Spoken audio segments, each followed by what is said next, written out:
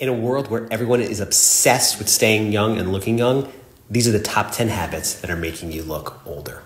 Number one, this comes as no surprise sun.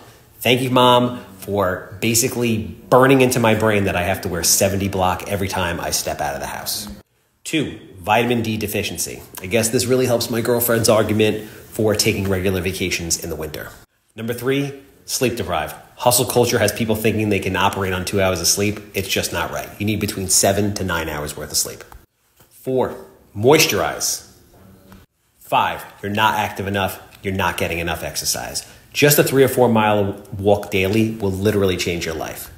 Stress. Easier said than done, but try to keep your stress to a minimum. Diet.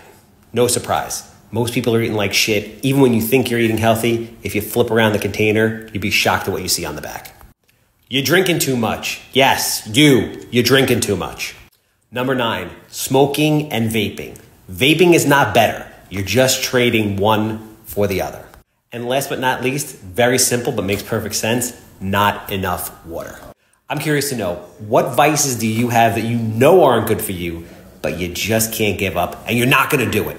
Let me know down below in the comments.